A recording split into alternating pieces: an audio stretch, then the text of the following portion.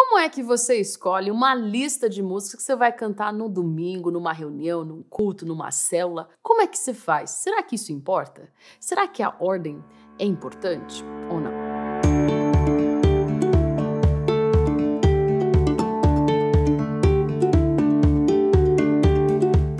Muitas pessoas perguntam como é que eu monto um set list? A gente usa essa palavra, mas basicamente é a lista das músicas que você vai ministrar numa certa reunião ou ocasião. Muitos perguntam: existe ordem certa?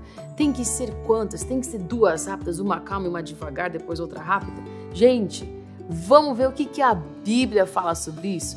Se você ainda não assistiu o meu vídeo do Tabernáculo de Moisés, você vai parar tudo, vai assistir ele, para depois vir aqui, senão não vai fazer sentido algum. A maneira como a gente escolhe as nossas canções durante uma ministração tem muito a ver com vários aspectos. Um deles é que precisa ser baseado na palavra de Deus. E a palavra de Deus ela é muito clara na ordem que as coisas acontecem para que possamos nos achegar em lugares mais profundos em Deus. Por exemplo, em Salmo 100 diz o quê? Entrai por suas portas com ações de graças. Ou seja, para entrar na presença de Deus, número um, vamos ter o quê? Ações de graças. Agora, tem pessoas que vão estar prontas para gratidão e tem pessoas que não vão estar prontas para isso. Tem pessoas que vão estar prontas para cantar uma música de intimidade, pois já estão lá no Santo dos Santos e tem pessoas que não estarão prontas para isso. Então eu vou te dar vários cenários hoje e te ensinar uma coisa mais assim básica, fundamental, quando você for montar as list a lista das músicas que você for ministrar. Então a gente monta de acordo com o tabernáculo de Moisés. No tabernáculo de Moisés existem várias áreas: os átrios, o santo lugar e o santo dos santos. Os átrios são canções de gratidão, de entrega, o santo lugar são canções do que? De exaltação, de resposta, que a gente chama, que a gente está falando, devolvendo para Deus. E o Santo Santos são músicas de intimidade, mas também são músicas de alegria, são músicas que trazem aquele lugar de eu estou com o Pai, está tudo bem aqui com Deus. Agora eu vou simplificar tudo isso e te ajudar nesse vídeo. Isso daqui não é uma regra, mas é para te ajudar a ser prático bom? O que eu gosto de dividir é em cinco categorias, porque facilita muito para você aí que está ministrando. Se o culto da sua igreja dura 15 minutos, daí a gente vai ter umas alternativas, tá bom? Geralmente, quando você tem mais ou menos 45 minutos, uma hora, dá para fazer essas cinco canções, tá bom? Então vamos pensar as canções de abertura. São geralmente canções de gratidão, pois ao entrarmos no tabernáculo de Moisés, nos deparamos com o portão. Quem é o portão? Quem foi o caminho? Jesus Cristo. E somente através de Jesus Cristo conseguimos adorar a Deus. Então, geralmente, a gente pode começar com uma canção de gratidão, falando de quem Jesus é. Jesus, obrigada que o Senhor fez na cruz. Obrigada pelo teu sacrifício. Canções que têm esse tema, né? Ajudar as pessoas naquele momento a reconhecer que se não fosse por Jesus, elas não estariam ali. Depois nos deparamos com um altar de sacrifício, que seria a minha segunda categoria, que é a música de entrega, de sacrifício, de doar, também de clamor, né? Pedindo Espírito Santo, eu quero mais do teu fogo, eu quero que o Senhor venha invadir esse lugar, eu estou aqui, eu estou entregue, toma tudo, toma o teu lugar, eu, eu me quebranto, eu me rendo. São canções de clamor e de entrega. E nós entramos então no santo lugar, onde eu acho que são canções de total é, resposta. O que são músicas de resposta? São canções de exaltação são canções de falar, Jesus, olha, o Senhor fez isso por mim, por isso eu faço isso, né? O que eu posso te dar do que tu fizeste a mim, por isso que eu te entrego isso, né? Canções que a gente fala assim, você é tudo, você é o meu amor, né? Canções também que a gente honra o Espírito Santo, que é representado pelo candelabro canções que a gente também honra que Jesus ele nos completa, representado pela mesa dos pães asmos, canções também de exaltação, que nós exaltamos a Deus nos, no meio das nossas circunstâncias, independente dos resultados, nós estamos exaltando a Deus. Então, essas são as músicas mais comuns que acontecem numa igreja local, pelo menos eu vejo muito, ah, são músicas de, eu diria, de eu bendirei ao Senhor, né?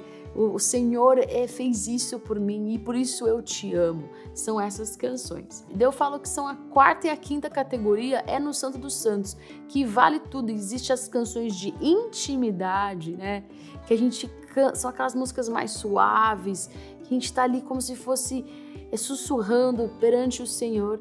Mas, por outro lado, nós temos a alegria, porque na presença de Deus, alegrias perpétuas. Então, também são canções de, de liberdade, de que eu estou aqui, você está aqui, Deus, e tá tudo maravilhoso, né? Geralmente fazemos essas cinco categorias para facilitar quando nós estamos montando uma lista de músicas. Por que, que a ordem é importante? Vou ser bem realista aqui. Imagina que a gente está cantando uma música de clamor, né? A gente está cantando, vem, toma o teu lugar, né? Espírito Santo, vem, né? E daí a gente vai e canta uma música de intimidade. Eu te amo, você é tudo para mim. E daí a gente volta e faz o quê? A gente canta de novo. Vem, Senhor, enche esse lugar. Daí fica um pouco confuso, né? O Espírito Santo tá ali se manifestando, daí você falou para ele, espera aí. Daí, ah não, volta aqui, né?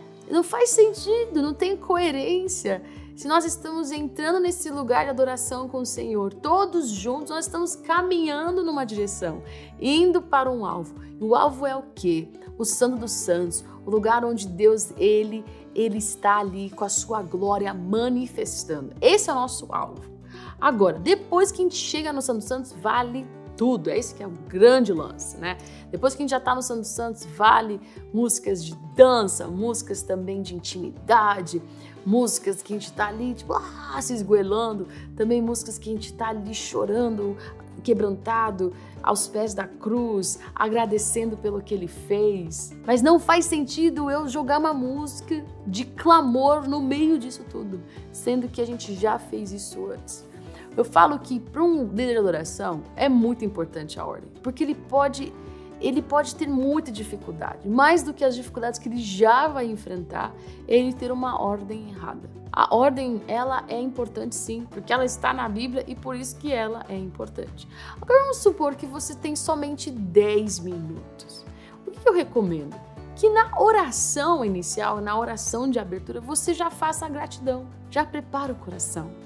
Daí faça uma canção de entrega e daí já entra numa música de resposta, de falando quem Deus é e termina ali. São 10 minutos, já liderei a adoração 10 minutos. Então como é que eu faço para a glória de Deus vir em 10 minutos? Querido, você não faz nada, quem faz isso é o Espírito Santo.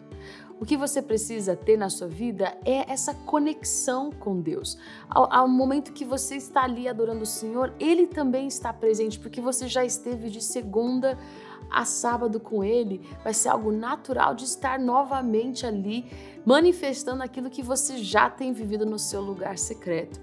Então não pense que porque você tem pouco tempo, que você não tem tempo suficiente para que a presença de Deus venha. Também não pense que, ai, porque o meu pastor, ele pede duas rápidas e uma calma, depois mais uma rápida que não vai fluir. Então escolha dentro da palavra de Deus para que você consiga ajudar o povo a chegar nesse lugar de adoração.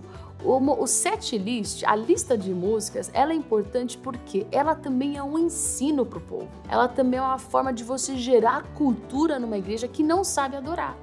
É uma forma de você trazer um, um, um embasamento bíblico para aquilo que você está fazendo.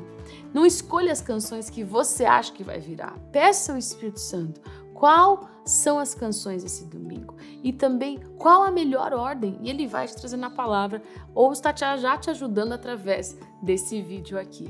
Então, se você quer mais informações, nós vamos ter um post lá no nosso Instagram, caso você não siga Nesse, nesse post tem até opção de músicas que vocês podem usar para cada momento que você tiver de adoração. E eu oro que Deus venha te capacitar, te trazendo sensibilidade ao escolher as canções, que não sejam só canções porque estão na moda ou porque dão certo, mas que sejam canções que sejam histórias da sua vida, que sejam real, que sejam genuínas do seu coração pois é isso que realmente importa.